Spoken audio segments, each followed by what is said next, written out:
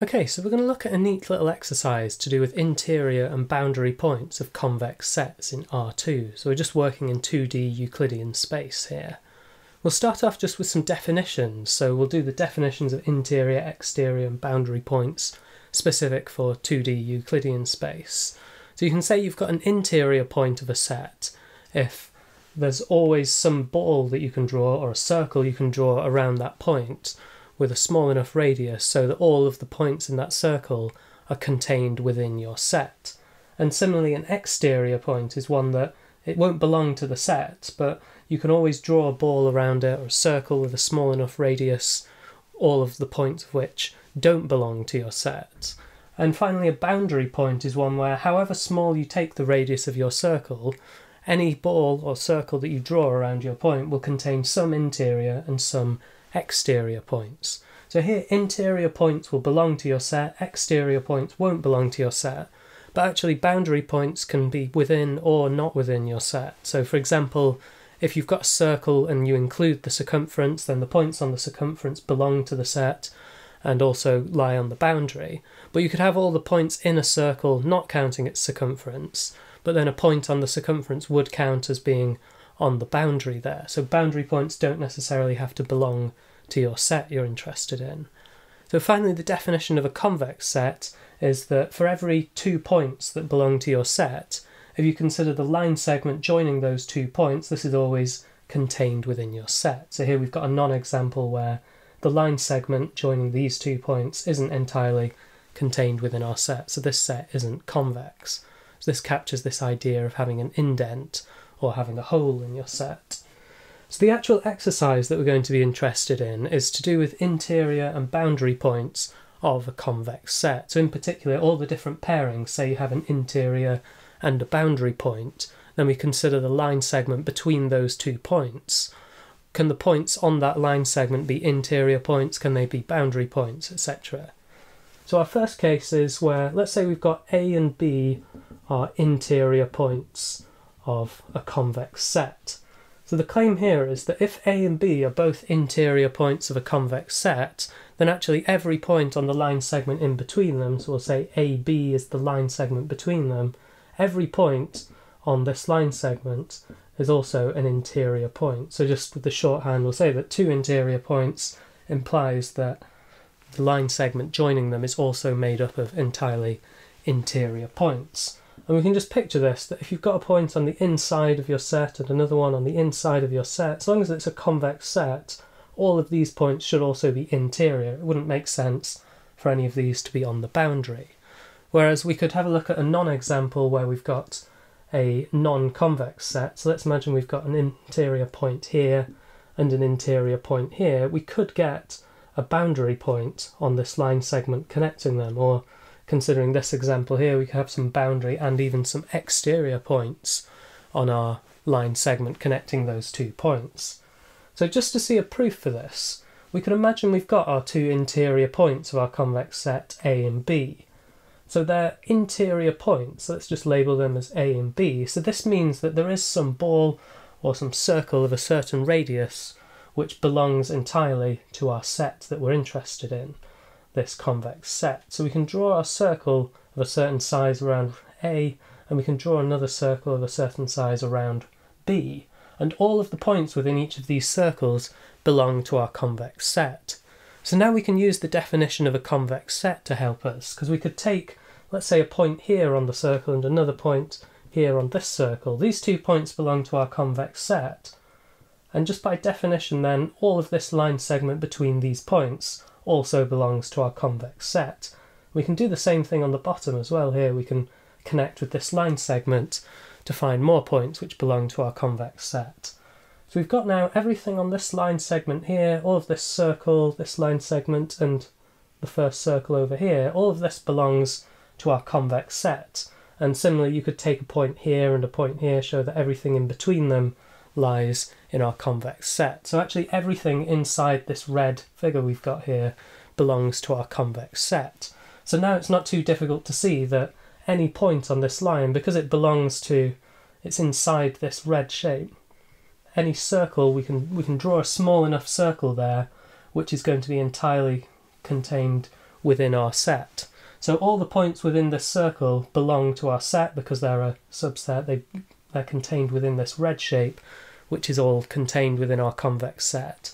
So this is the same as saying that every point on this line segment is an interior point. So we've shown then that if we've got two interior points of our convex set, then every point on this line segment between them is also an interior point because it belongs to a small enough circle which will be contained within this larger figure. Now let's consider the case where A is interior and B is a boundary point which belongs to our convex set. So here we're claiming that all of the points between A and B still have to be interior points of our convex set.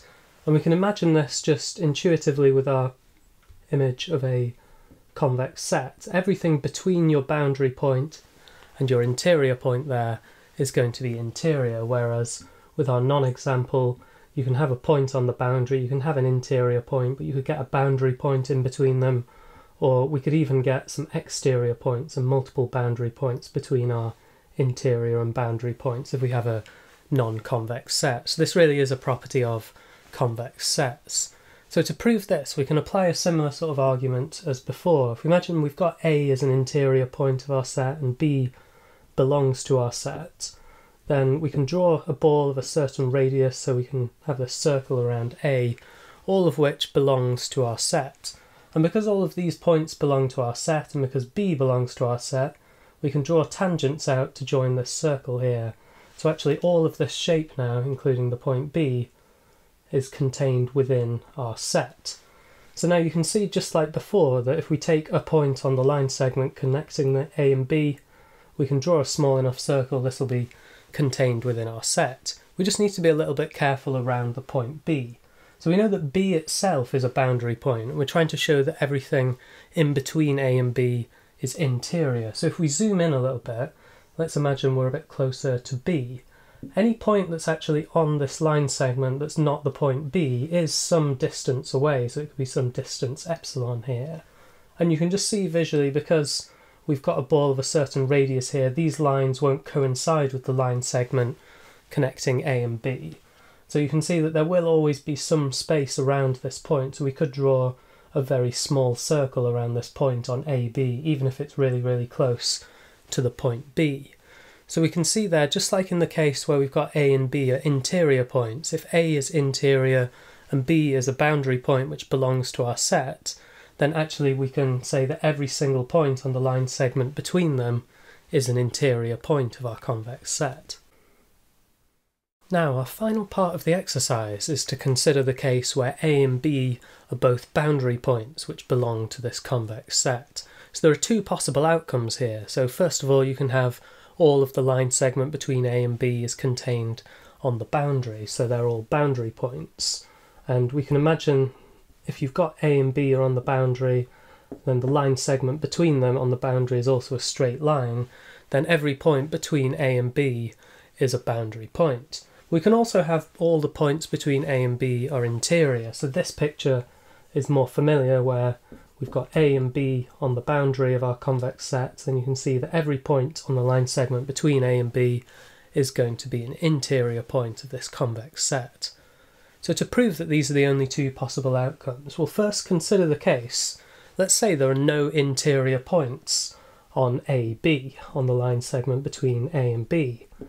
Well, we know that there aren't going to be any exterior points on this line segment between A and B, because A and B belong to our convex set, and we know that this line segment between A and B is contained within our convex set. So if we've not got any interior points, they must all be boundary points in order for them to belong to this set. So in this case, where there's no interior points on our line segment, we're done at this point. We can just say that they're all boundary points and the theorem is satisfied.